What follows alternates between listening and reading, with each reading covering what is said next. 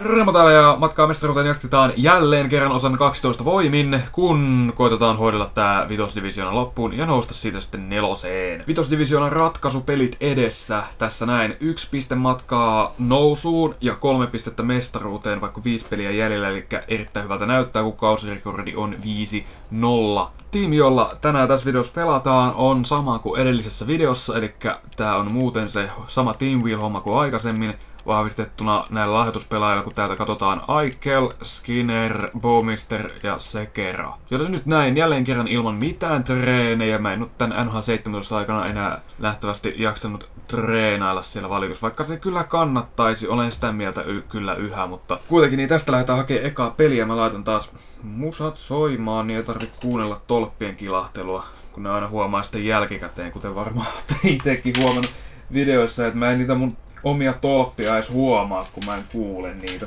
Ja täältä tulee Lindholm Junior, tai joko itärajan tyyppi, silloin Sedini ja Tepsipaita ja öö, Saipan logo. Häh? Mä en kyllä olisi halunnut huntata noita maalivahtien statseja, mutta mä hunttasin ne näköjään kuitenkin. Ne on kuitenkin ihan harhaluuloa, harhakuvitelmaa. Peli lähtee käyntiin ja mä oon ihan pihalla täällä. Näin se pääsee ekaan hyökkäykseen näyttää niin vaaralliselta! Tää nyt pitäisi vaan herätä. Tää herätä syvästä alhosta. Siitä läpi se on maali. Paitsi että se tuli takapäin kiinni. Ja ei saa siitä. Myers. Joo, ja pomppasee sieltä noin, pomp, pomppis sisään, siitä näin lisää junttilämäriä, sinne on reboundia maali tulossa ja laukauksia satelee. Laukauksia satelee kuin Leo Kohenalta. Voimme lopettaa tästä, jos siitä kuulostaa ihan ärsyttävältä. Hei, kyllä mut löytyy ärsyttävämpiäkin ääniä, jos te vaan jaksatte. Juu, se on kuule Rasteveivi näin maali, noin. Viisi minuuttia pelattu ja sieltähän iskiytyi mun, kukas toi on? Sarppi läpi, ai niin se on pakki. Mä mietin, että mitä se Sarppi tekee tuolla, kun se pitäisi olla pakki, mutta se olikin pakki ja sitten se teki pakin tontilta maali, vaikka se onkin laituri. Shane Kostisper, huonoin 86, amatöörimaista pelaamista kerta kaikkiaan, minä otan siitä rangaistuslaukauksen. Yes. Huono yritys, vaikka itse sanonkin. En mä tehnyt siellä mitään. Se koitti tulla Kostisperille ihan sivuun. Sivuun huito itsensä. Joo, kannattaa kyllä seuraavassakin läpiä, jos kampata. Rebound taktiikka. Joo, heittäytyy. Heittäytyy junttilämärin eteen. Oi. Äh. Mikä tää jätkä on? Se vaan vie mua tällä hetkellä ja syötöt ei vaan napsu. Mä vetänyt kolme pitkää putkea ja mä en pääse ton alueelle enää. Tää ihmettää. Se maalivahdin statsit huijas mua. Tää on turhauttavaa. Niin eto, suoraa vaihdosta. Juu, siitä kuitenkin maali. Kyllä pomppii, pomppii. Se on kiva, että pomppii mulle nimenomaan. 4,6 sekuntinen loppu. Ne statsit kävi siinä, mä en ehtinyt kommentoimaan niistä mitään ihmeellistä. Jätkä salee vei, mutta... No siis hei. Mitä? Kannattaakohan tuo nyt? Juu. Ja 3-0. Näin. Näin se toimii. Häh, pistetään lykäset maihin. Mä tuun täältä teen maalin tästä noin. Joku Myers läpi ja jossain herra on... Nyt on aika lisäveikkaus. No niin, se meni tietysti väärin näin. Ja hän lähti 4-0 tilanteessa ja näin ollen on enää divisioonallinen mestaruus varmistumatta. Neljä peliä aikaa saada yksi piste. Joo, joo. Hmm.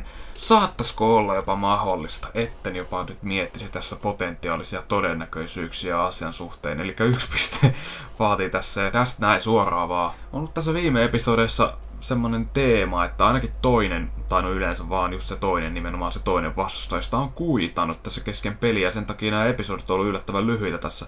Pisin taitaa olla vasta niinku 13 minuuttia, ja useimmat näistä liikkuu siinä hikiseen 10 minuutin pintaa, jos sen takia, koska toinen vastustaja on kuitannut jo aikaisessa vaiheessa. Nyt on tällä hetkellä paikka sitten antaa kova vastus Nunre 99ers, tää on joku ruotsalainen, kyllä nyt vaikuttaa vahvasti siltä, joo, ruotsipaidat ja Zetterberg siellä No siis jotain, jotain muuta kuin pelkkiä ruotsalaisia. Silloin jopa Brad Marchand vasemmassa laidassa. Wow.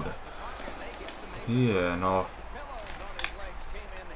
Joo, vähän osu siihen väliin. Eka poke pelissä ja jää. Loistavaa. Oi voi, oi voi. Ja se on maali. Kyllä vedit vipuun. Ei siis vedin vipuun, niin se siis pitäisi sanoa tässä. Little siis ei ollut edes semmonen kunnon windmilli, vaan semmonen paskaharhautus. Se huonompi niistä. Ja sillä menin silti läpi. Mun olisi kyllä pitänyt tehdä se hienompi tossa. Joo, pitää vaan. Tulee YV-vuoro. Ja ei mennyt tosta. Toi on kyllä mennyt. Draftissa ainakin. Aha. Hieno syöttö. Hieno syöttö ja sitten 2-0. Kyllä pitäisi ton pakkia saada nyt kyllä kakkossyöttäjäksi tuohon. Katsotaan saako se pisteen. No ei se saanut, siellä vaan Myers. No hö. Eikä oma maali. Joka, mitä? Se on kyllä maalivahdin häirintä. Tuo on hylätty. Vaikka kaikki, kattokaa noita kaikkia ruotsalaisia, jotka innoissaan nousivat pystyyn siellä maalin merkiksi. No, miten jää noin vapaaksi? Äh.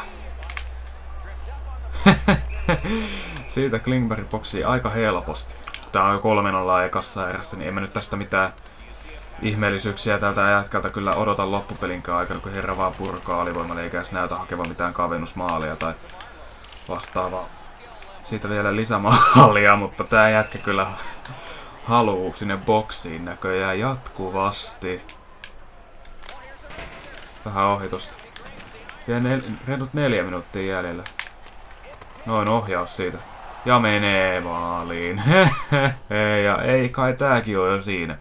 Oliko tää näin nopea visitti?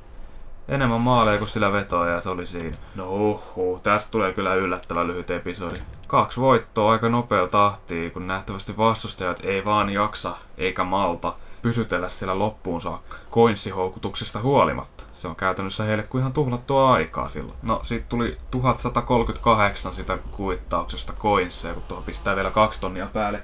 Divisiona mestaruudesta, ja tässä on nelosdivisionan tämmönen bracketti, eli samat pisteluvut näyttää olevan kuin edellisessä divisioonassa on sinne, niin kuin se ainoa näistä divisioonissa, jolla ne on samat lukemat siellä, mutta siitä jatketaan seuraavassa episodissa sitä ennen. Se oli tästä tältä erää. Mitäs ne kolme peliä, mitä mä pelasin off-camera muuten? No ne meni näin. 6-1-5-0-5-1. Tuolla se on se edellinen tappio. Sen jälkeen mennään kyllä nyt 19 pelin voittoputkassa. Tästä se on ihan jees. Kokonaistilasto huikea 32-1-2. No ei se mikään kauhean hyvä ole loppujen lopuksi vertaa kokonaiskuvaa, mutta tää oli kuitenkin tästä tältä erää nyt. Loppas.